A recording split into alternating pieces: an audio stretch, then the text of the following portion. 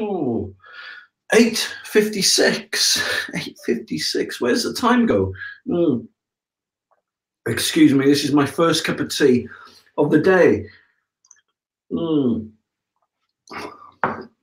Um, actually, it's probably my third, first cup of tea of the evening I'm in.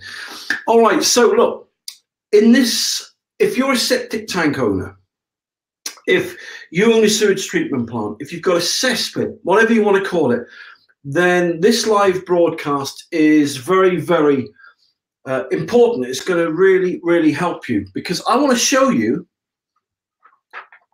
how this piece of paper, which doesn't look much, right, can save you thousands and thousands of pounds and completely um, take all the stress, all the anxiety, all the worry away from you if you're worried and you're concerned about all the changes that are coming into force regarding the septic tank ban or the general binding rules, as they call it, that come into force on the 1st of Jan 2020.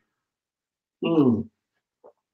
So I'm going to show you two areas in which this innocuous bit of paper can really, really help you. Now, this bit of paper, yeah, sorry about that. Everything's like back to front because I'm recording on the camera here. It's like everything's mirror image. So look, I'm going to show you how this bit of paper will, if you're coming to sell your house, if you're um, worried about getting fined, bringing your septic tank and sewage treatment plant up to scratch, making them the compliant, then this is worth its weight in gold. Although it doesn't weigh very much, what I mean by that is priceless, right? Priceless, right?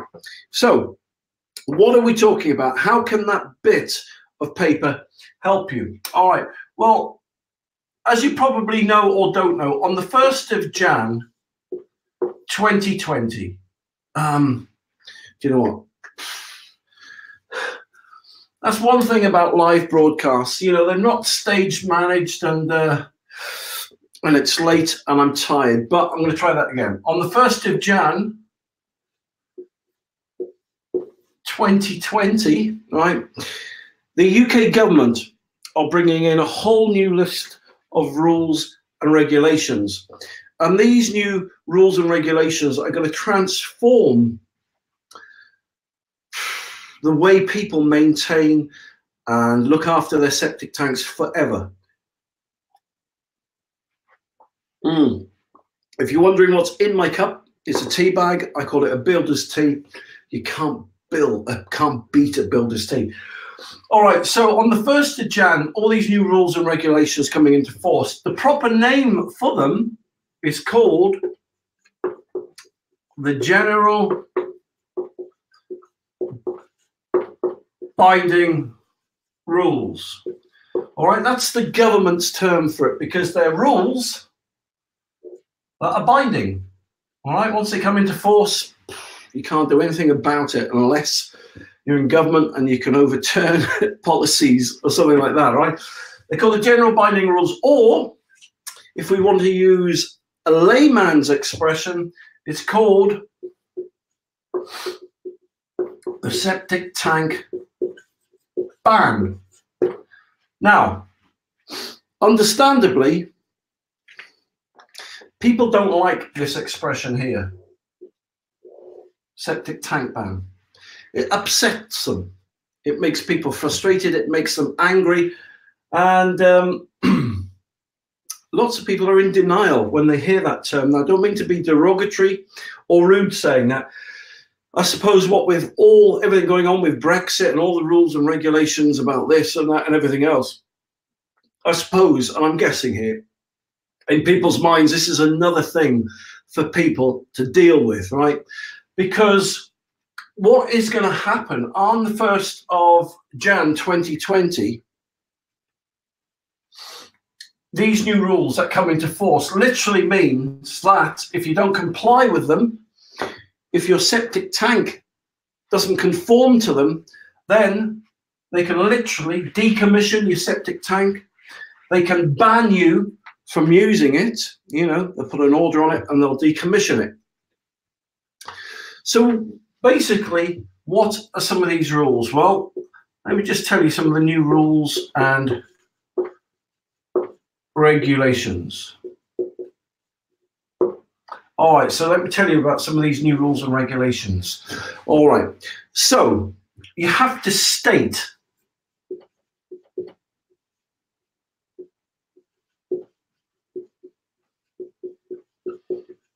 what system you have. All right, after the 1st of Jan 2020, you must declare, right, to um, the UK government what system you have.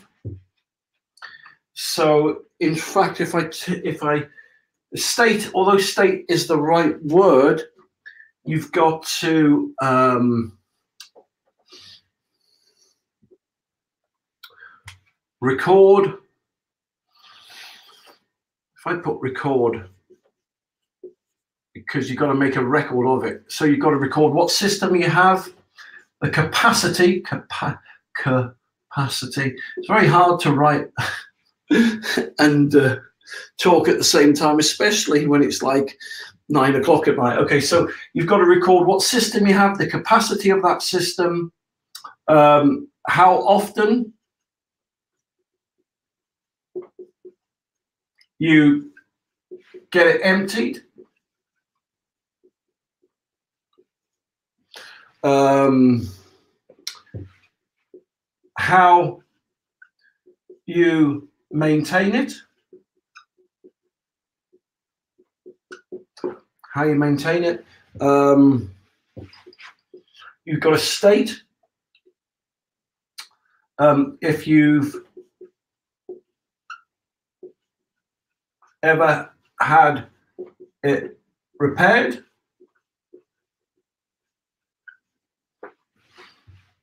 you've got to state how long you've owned it. So, for example, you may have just recently bought the house. So you may have just owned it, I don't know, a week. You may have had it a year. You may have owned it 50 years. Okay. So, what system you got capacity? How often you get it emptied? How you maintain it? Oh yeah, what service contract? What what what servicing you do on it? What service contract?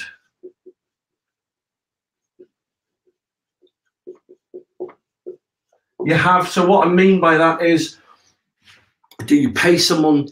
Um, if you've got a, a sewage treatment plant, especially, you may pay someone every year to come round and have a look at it and clean it out, um, check the motors, check the electric, stuff like that. How you maintain it. Um, and let me see, there's one more. Oh, yes. Um, oh, yeah. The condition of it.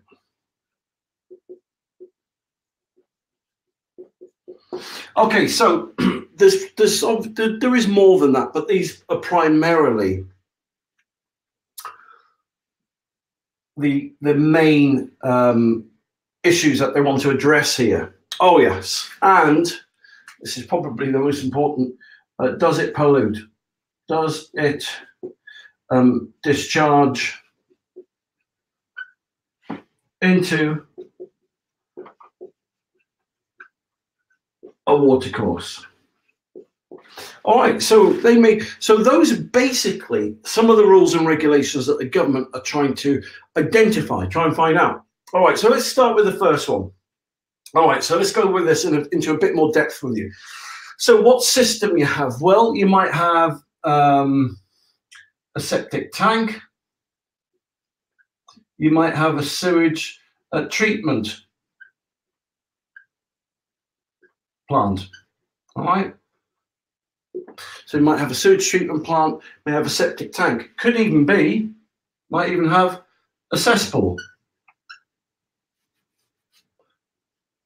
There you go. All right, the capacity of it. So um, if you don't know the capacity of it, one of the best ways to get to know the capacity is to check your septic tank emptying record. So it could be um, typically there'll be like four and a half thousand liters,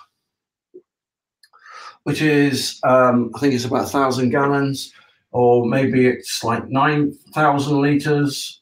So if you check your septic tank emptying records, it will tell you the capacity of your tank.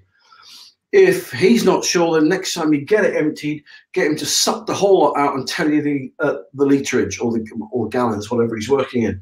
How often do you get it emptied? This, all right, this is the stuff you have to tell the government. You get it done once or or twice a year. Do you do it only once every five years? Once every 10 years, right? This is the kind of stuff they want to know. How do you maintain it? Do you get it rodded? You get it jetted?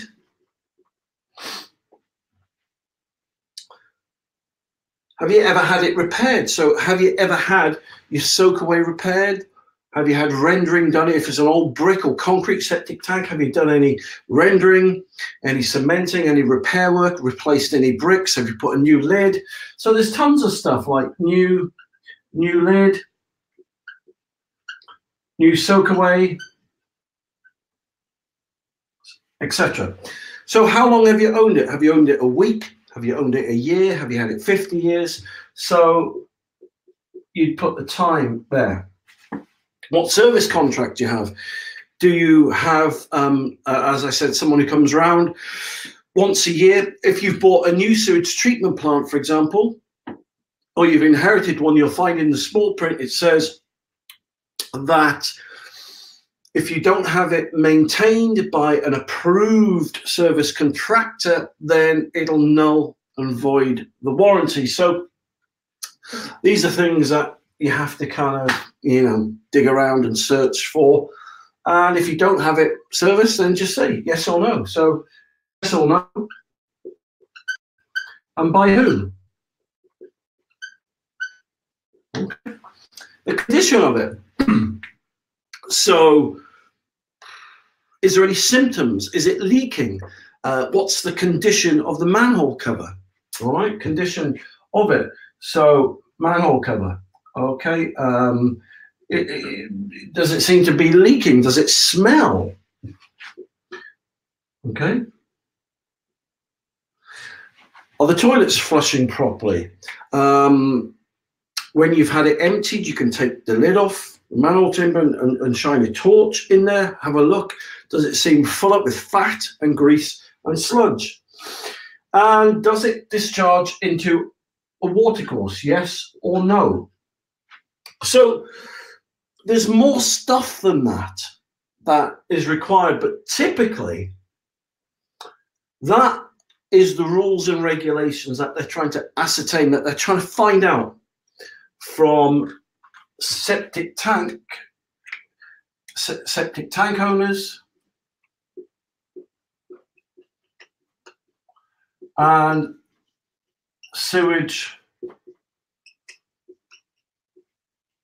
treatment plant owners. Okay, so that's basically an overview of all the rules and regulations that septic tank owners, sewage treatment plant owners, cesspit owners have, will have to deal with on the 1st of Jan 2020, whether you like it or not.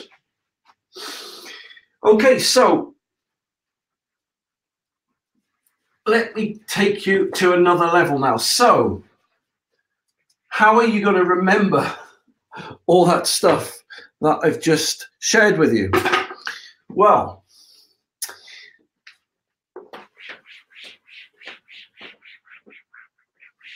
this is where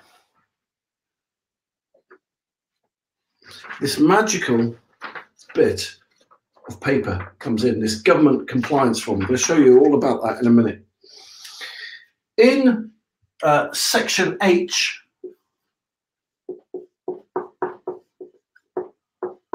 of building regs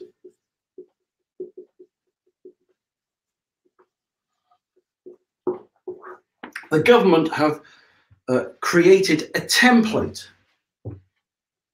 that looks something like that. Oh, it's not as badly drawn as that, I can assure you. Right? It's a lot straighter. Lines are a lot straighter than that. But uh, let me just try that once more. right, okay. I think that's a bit better, but it isn't great, but I, I'm, you'll get the point, right? So in the building regs, right, they do a template. They've made a template, and it's got lots of wording in. All right, so this is what it looks like roughly. And you'll see where I'm going with this. I'm purposely doing some stuff here. All right. so the template looks something like that. And in here, what they've done, they've left certain bits of this template blank.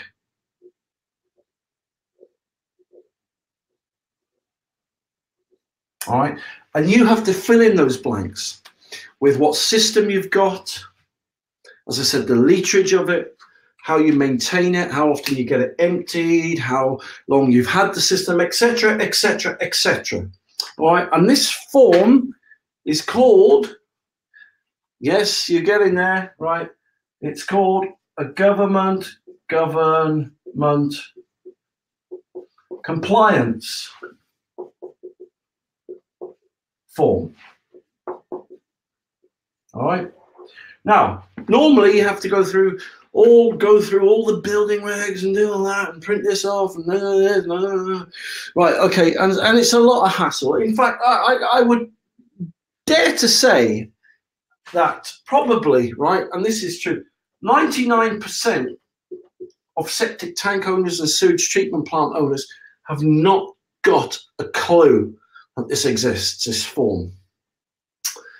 Okay, they ha haven't got a clue it exists. So this is why I'm doing this free video for you to help you, right? Because this is where we get to it now. This form is something that I have created directly from Section 8 to the building regs. And this government compliance form is something that I have made from the government website. Oh, there you go, yeah. Sorry, it's just like mirrored, so everything's like normal is the other way. All right, so this government form is basically exactly the same template that I've just shown you, right, from the government website. And you can download this form, right?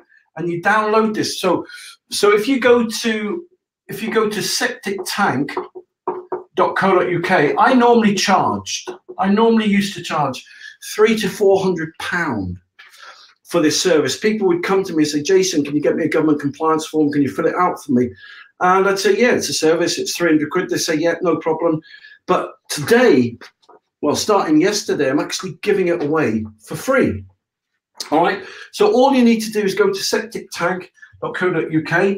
On the top left hand uh, of the side of the corner there, it says septic tank ban. If you click that, it'll take you to my page. All right, it'll take you to a page. And on that page, it explains in a little bit more detail what I've been talking about in this live broadcast. But at the bottom of the page that I've made there, let's just pretend this is my web page, but uh, my web page looks a lot better than this. So it speaks about the, um, the septic tank ban, right here, something like that, compliance form, just showing you what the page looks like, okay? Uh, compliance form. I think there's a little video there you can watch, right? Little video there. It's got some writing there. I think there's another picture there, some writing. And this is the bit at the bottom of the page, you know, there's a form, right? And if you put your name and your email address, into that form there, then automatically I don't want a penny off you. There's no catch, there's no con. You know, then you can download as many copies as you want of this form. Once you've done that, once you've downloaded it, print it out. Print it out so you've actually got a copy of this form then, okay? So then print it out and then get your pen I'm just showing you know you know how to use a pen. Big three, and then just fill in the bits pertinent to you. Then once you've done that, put one in display on display in your kitchen. I don't know, stick it to the stick it to the wall like that with some Blu Tack, something like that, or your utility room, and give one to your solicitor. So when the government officials come round after that date, they'll say, "Hello, Mr. So and So. How are you doing? Um, we believe you're a septic tank. Um, are you? You'll say yes. Do you have any documentation relating to your septic tank? And then you go, banana. You show them your government compliance form. It's as simple as that. And then they'll get it. And then they'll look. I'll say, okay, Mr. Such and such, yeah, okay. Okay, so you got that kind of system, all right. Oh, okay, you've had it that long. And um, okay, so you've had that maintenance done to it. You got the receipts for that? Okay, that's good. Okay, so you, you get it emptied this often? All right, so you've maintained it twice a year. Wow, okay, that's brilliant. That's really, really good. Okay, so they'll say, Can I take a copy of this? And uh, yeah, you go, Yes. Then they'll get the phone, they'll put the camera on, and they go, Click, and take a picture of it. And then they'll go, Thank you very much. And that's it. So that will save you a lot of hassle. Now, let me show you why you lodge one with your solicitor. Let me just find my pen here. All right. Now, this is where the second stage of where it will really help you, okay? So let's say this is your house.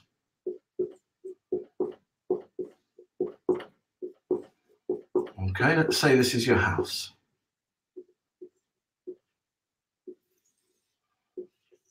Okay, let's say that's your house. And there's some smoke coming from there, from your lovely coal fire that you've got there. Okay. And your house is for sale. So whether you've lived there a year, whether you've lived there 50 years, it doesn't really matter. The point that does matter is that in your garden here, you've got a septic tank. Now, okay, so that's the pipe leading from your house into the septic tank, okay? Now, the people buying your house may never have heard of a septic tank before, but haven't got a clue what it is. They don't know what it costs to empty it every year. They don't know what it costs to maintain it. They don't know what they cost to buy. They don't even know what it is, right? Maybe they do. But let's just suppose they didn't for a second. The solicitor will go to them and say, the house that you're buying has got a septic tank. And they say, what? Septic tank. Okay. And the solicitor will say, explain, well, in the town, many people are connected to the mains drainage. This property is not connected to the main drainage, it's connected to a septic tank.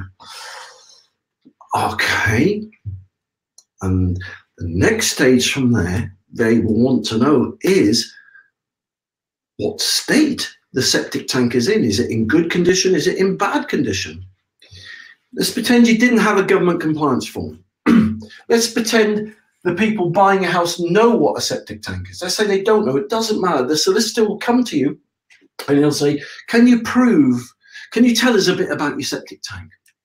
And you'll say, Yeah, I get emptied once, twice, twice a year. Um, it's never given me any problems. It's been in there for 40 years. That's what most people say they'll say, Can you give us some proof of that?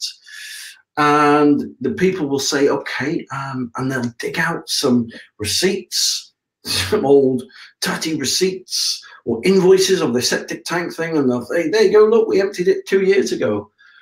And they're like, Okay, that just shows that someone sucked some liquid out. And what happens is this they'll go back to the client buying your property and they'll say, Look, no one knows what state or condition the septic tank is in. Um, I would personally opt to put a new system in and um, get some quotes, and we'll reduce the price of the house that they're asking by the what it costs to get a new system installed. All right, and so you'll find that the quotes that you'll get, or they'll get, to put a new system in will range anywhere from seven thousand and I'm not kidding you now, to £16,000. It's horrendous and more, plus Depends how big your house is. If it's double the size of that, you can start doubling the price of that. Okay, and so to knock 16,000 quid or 30,000 in some cases off the price of your house is just nuts and it'll blow your mind. and you you may hold out and say, stuff it, I ain't, I ain't knocking my price of my house down by 7,000 quid. Can go to hell, you know? And that's the, the, that's the normal reaction of some people. But you'll find the next people that come along to buy your house hit the same thing. Their solicitor will say, what tank have you, what, what conditions your septic tank in? And you're starting all over again. All right, you found all your septic tank em- emptying receipts and invoices. Fine. And it'll go again. Well, they just show us that you had it emptied. Um, I had it jetted a couple of years ago. Okay, so someone blasted some water in there. So what? And this is how it goes, right? Because no one knows anything about septic tanks except the people who install them. And it, it went that. But this is where the magic bullet comes in. This is where, by having this form, right, will change everything. All right, so let's rewind now. I'm going to rewind and give you the second scenario. You're selling your house. The people buying your house have got no clue about what a septic tank is. Maybe they have got a clue, but it'll still play out the same. what condition is your septic tank or your sewage treatment plant in? Hold on a second, just give me a second. You go to your utility room or you contact your solicitor. Government compliance form. Okay, so this is the government compliance form as required by the government. All right. So the people that you, who, who you're looking to buy the house off, they've got a septic tank. They've had it for 10 years. They've got it emptied, paid quite a lot of money actually to get it emptied. They've emptied it twice a year. They've had it serviced by ABC Drainage. Um, it's in a very good state of repair. In fact, um, there was um, the manhole cover came loose about a year ago, but they had a professional firm in and they did an inspection while they were there, and everything was tickety boom. Okay, so very, very good. And the solicitor will take a copy of that, hand that back, and there you go. So, the government compliance form, right? So how much are these forms? They're free. There's no con, there's no catch. I've been doing this for 20 years, and as I said, I normally charge 300 quid for this form because a lot of work's gone into it.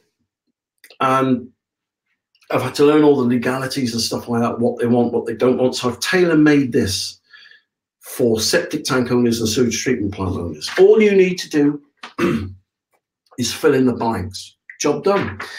And that is it. So the form is free. All you've got to do is do a little bit of typing. Yeah, it's as simple as that.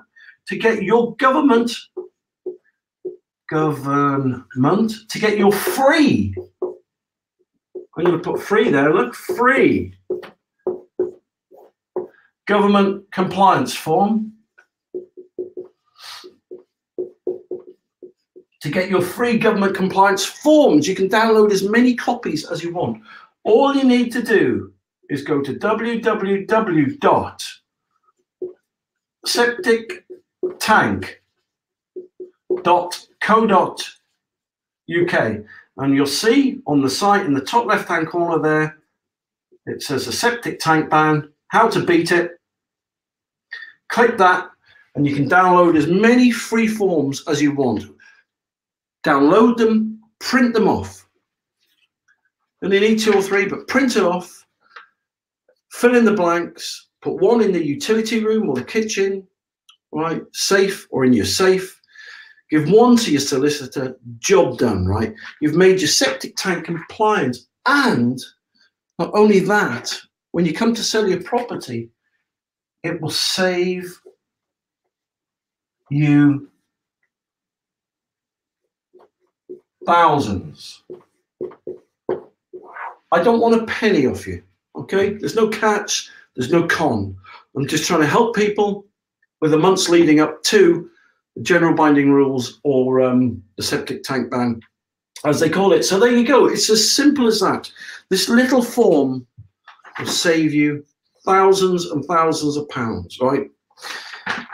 And uh, that's it. So that's what the broadcast is about today. So if you're a septic tank owner or you've got a sewage treatment plant, then please, please, please, please, please, if you want to beat the septic tank ban, make your uh, sewage treatment plant fully legal before the 1st of Jan 2020 and go to septic tank UK top left hand side there. How to beat. You'll see it. How to beat. Septic tank ban click that. It will then take you to the government compliance form page and download as many copies as you want. So there you go. Thank you very much for watching the live broadcast and i hope this has really helped you. And um, right i'm going to go and have another cup of tea now and chill out until tomorrow. But listen thanks a lot for watching this and you take care.